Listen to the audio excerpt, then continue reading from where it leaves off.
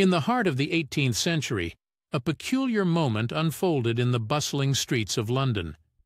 It was the summer of 1761, and John Harrison, a self-taught clockmaker, stood nervously outside the offices of the Board of Longitude.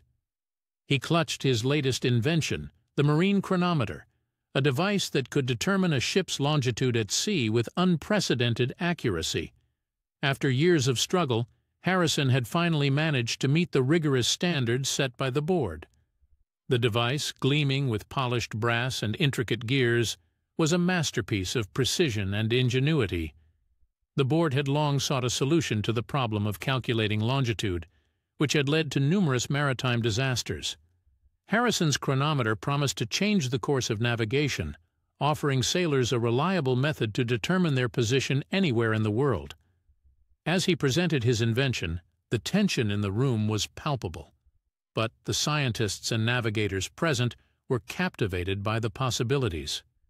This moment, though quiet, marked a turning point in naval history, forever altering the way humanity traversed the globe.